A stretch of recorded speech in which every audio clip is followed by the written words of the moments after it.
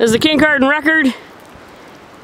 It's New Year's Eve day, and I'm standing at the bottom of uh, Lambton Street in Kincardine, looking at Lake Huron. I think I told you yesterday that this mess was supposed to stop, but it hasn't.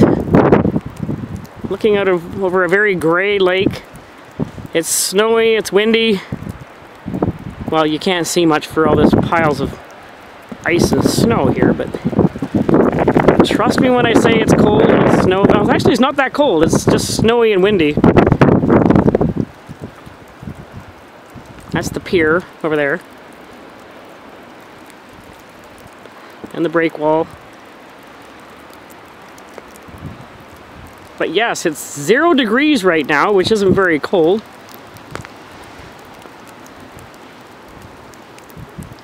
One degree warmer and this would be rain. In fact, that's what they're predicting is rain. Rain for New Year's Day and possibly some sun. Let's hope so. Anyway, a Happy New Year again.